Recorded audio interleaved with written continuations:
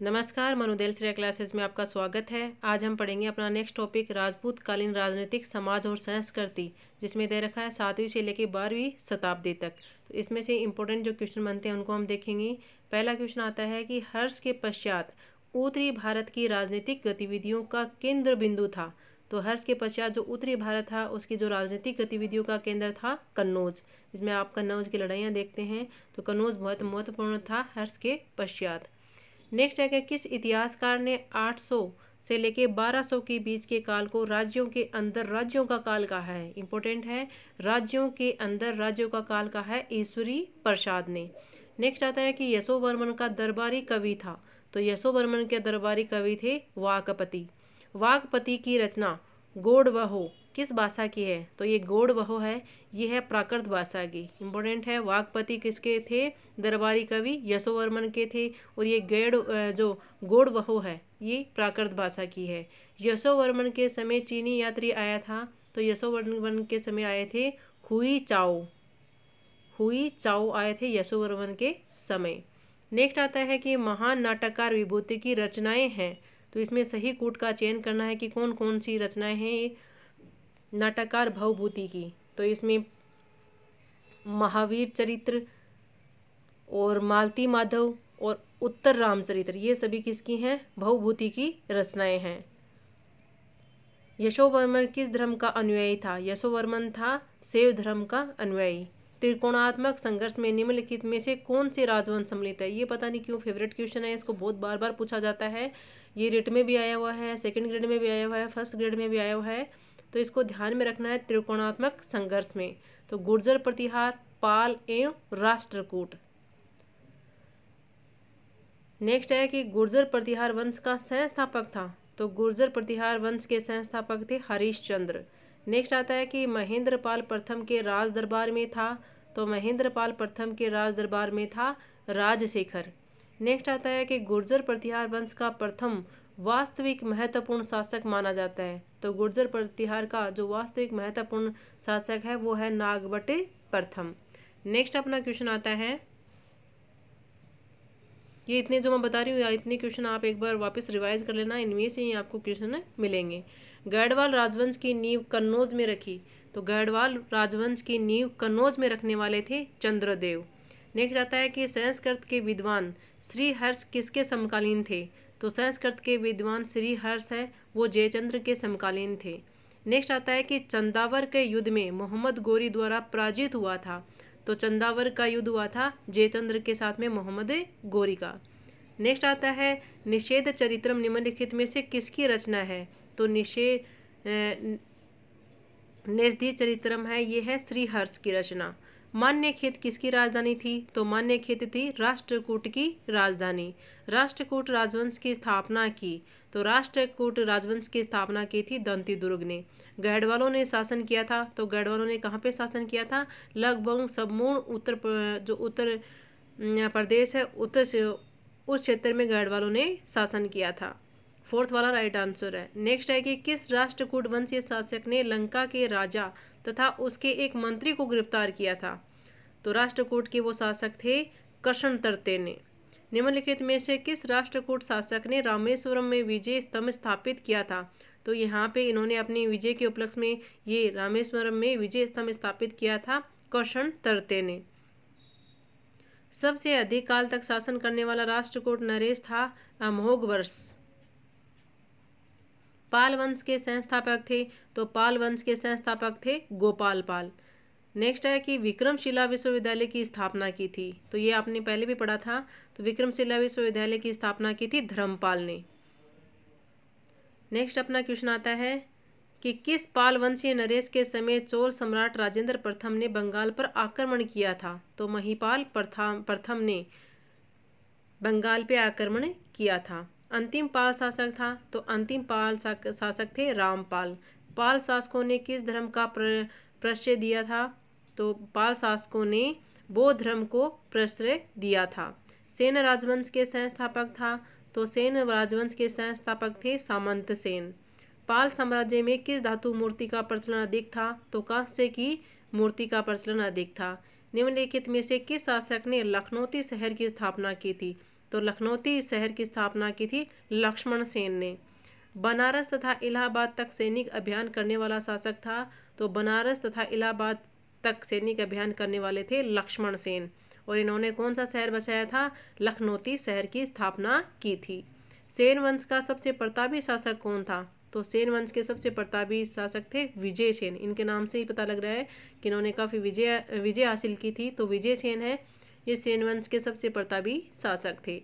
अजमेर नगर की स्थापना की। तो अजमेर नगर की स्थापना की थी चौहान शासक अजयरान ने। चामान वंश का महानतम शासक था। तो चावन वंश के महानतम शासक थे पृथ्वीराज तरते। पृथ्वीराज तरते को जाना जाता था। तो राय पिथोरा भी कहते हैं पृथ्वीराज तरते को। चामान शासकों को प्रतिद्वंदिता थी। तो प्रति, चामान शासकों के प्रतिद्वंदी कौन थे? गढ़वालों से। निम्नलिखित में से चामान वंशीय शासक नहीं है। तो इसमें से छांटना है, कौन से शासक नहीं है? चामान वंश के तो जयपाल। बाकी अजय राज बिसल देव और वासुदेव, ये क्या है? चामान वंशीय शासक हैं। लोक प्रसिद्ध सेनानायक आला उद्धव का समन था।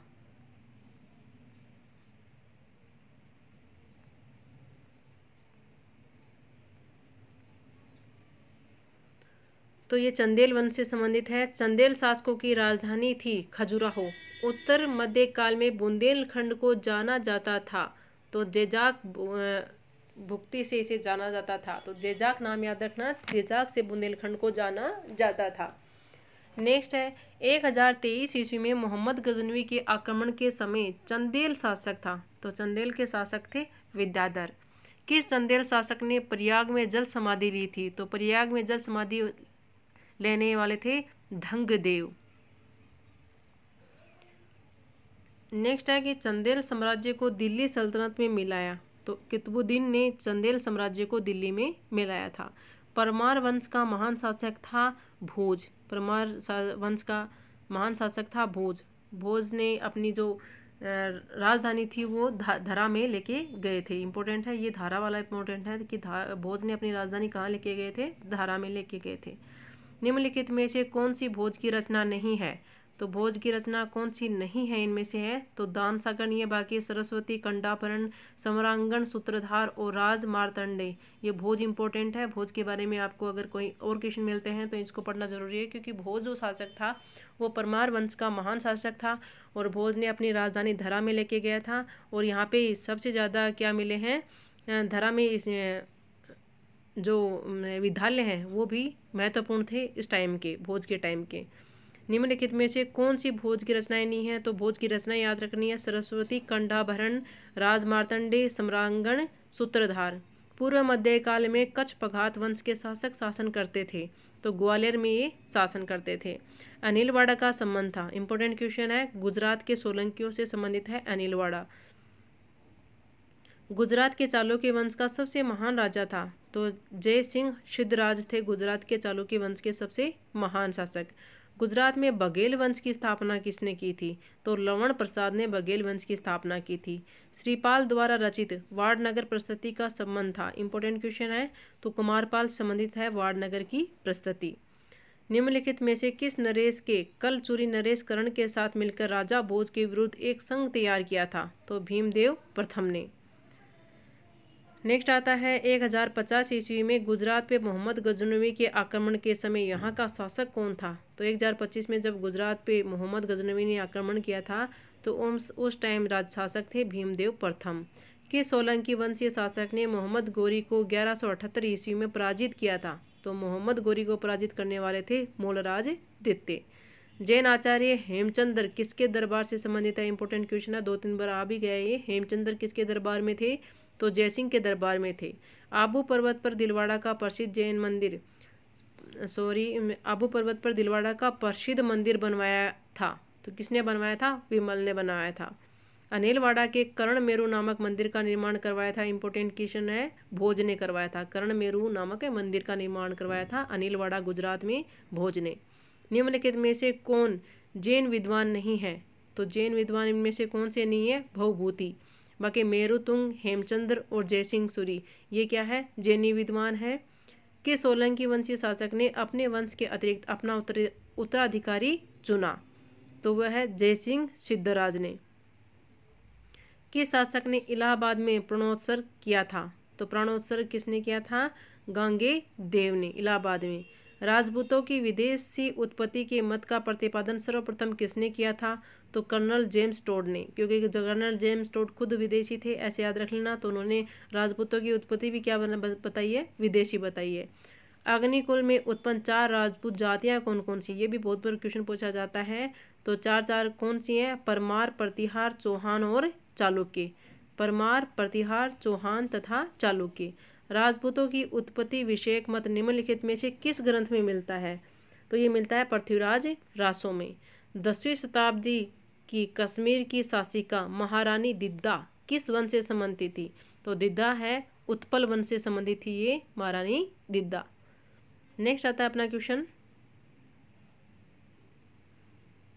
हेनसांग के भारत भ्रमण के समय सिंध का शासक किस वर्ण से संबंधित था? तो सिंध के शासक थे शूद्र वर्ण से। अरबों के आक्रमण के समय सिंध का शासक था तो जब अरबों ने आक्रमण किया था, तब सिंध के सिंध के शासक थे दाहिर।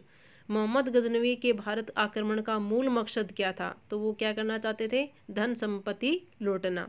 हिंदू शाही शासकों की राजधानी थी तो हिंदू शाही शासकों की राजधानी थी वे हिंद। निम्नलिखित में से कौन हिंदुशाही राजा नहीं था? तो कौन नहीं थे? रामपाल, बाकी आनंदपाल, जयपाल और त्रिलोचन पाल इंपॉर्टेंट है त्रिलोचन पाल इनमें। तो ये कौन थे? हिंदुशाही राजा थे त्रिलोचन पाल जयपाल और आनंदपाल। मोहम्मद गजनवी का अंतिम आक्रमण भारत पर हुआ था।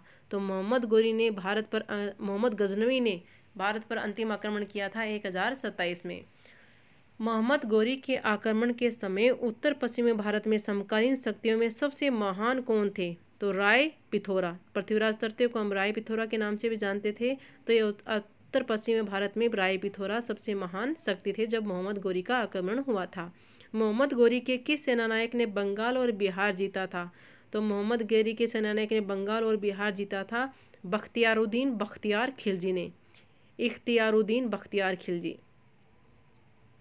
राजपूतों की विदेशी उत्पत्ति के मत का प्रतिपादन सर्वप्रथम किसने किया था? तो विदेशी मत का प्रतिपादन सर्वप्रथम कर्नल जेम्स टोड ने किया था। मुद्रा राक्षस रचयिता है। इंपॉर्टेंट क्वेश्चन है। तो विशाख दत्त की पुस्तक है मुद्रा राक्षस राक्षस। दिल्ली नगर की स्थापना की थी। तो दिल्ली नगर की स्थापना करने वाले थे तोमर शासक। तोमरों ने क्या बसाई थी? दिल्ली नगर को बसाया था। चचनामा से प्रकाश पड़ता है। तो चचनामा किस पे है? सिंध पे ये प्रकाश डालती है पुस्तक चचनामा।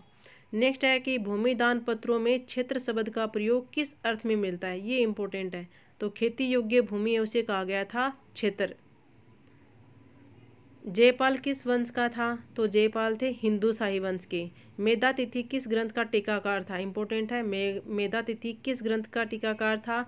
तो मेधा तिथि का है मनुस्मृति। सोमनाथ के मंदिर में किस देवता की पूजा होती है? तो सोमनाथ के मंदिर में महेश की पूजा होती है। मुस्लिम आक्रमणकारियों के विरुद्ध हिंदू शासकों के पतन का मुख्य कारण क्या था? तो हिंदू शासकों में क्या थी? राजनीतिक एकता का अभाव था। इस वजह से मुस्लिम आक्रमणकारियों ने इस पे इन पे विजय प्राप्त की थी। उड़ीसा के मंदिर किस शैली में बने हैं? ये बहुत इंपॉर्टेंट क्वेश्चन है। उड़ीसा के मंदिर बने हैं नागर शैली में। तो नागर शैली के उदाहरण हमें कहाँ से मिलते हैं? उड़ीसा के मंदिरों से। मोहम्मद गजनवी के साथ युद्ध में अपमानजनक पराजय के पश्चात आत्महत्या करने वाले हिंदुशाही वंश के शासक कौन थे? तो जयपाल ने यह आत्महत्या कर ली थी। पूर्व मध्यकाल में राजपूतों की अवस्था में गिरावट के कारण थे।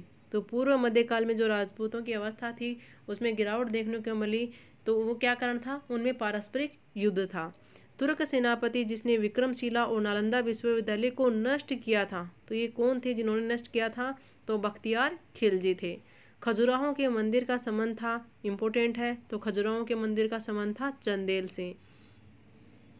मिहिर भोज का ग्वालियर अभिलेख, प्रतिहारों की उत्पत्ति प्रारंभ करता है तो मिहिर भोज का जो ग्वालियर अभिलेख है, उसमें जो प्रतिहारों की उत्पत्ति है, वो लक्ष्मण से मानी जाती है, कि लक्ष्मण से इनकी उत्पत्ति हुई है प्रतिहारों की, मिहिर भोज का ग्वालियर अभिलेख। कश्मीर का नीरो कहा जाता है, कश्मीर का नीरो कहा जाता है हर्ष को। इम्पोर्टेंट है, कश्मीर का नीरो हर्ष। नेक्स्ट आता है अपना क्वेश्चन कल्हण की राज तरंगिणी की रचना हुई थी। तो कल्हण ने क्या लिखी है? राज तरंगिणी। और इसकी रचना कब की है कल्हण ने? बारहवीं शताब्दी में। निम्नलिखित में से किसके आयात पर मोर, मार्को पोलो भारतीय धन के एक बड़े भाग के अपव्यय पर दुख प्रकट करता है? ये बहुत इंपॉर्टेंट बात है। तो घोड़े। किसके आयात पर मार्कोपोलो भारतीय धन के एक बड़े भाग के अपव्यय पर दुख प्रकट करता है तो घोड़े पर। निम्नलिखित में से किस मंदिर का शिखर द्रविड़ शैली का है? शिखर पूछा है, शिखर द्रविड़ शैली का है तो वह है तेली का मंदिर, ग्वालियर। श्रवण बेलगोला स्थित है तो श्रवण बेलगोला कहाँ पे है? कर्नाटक में स्थित है।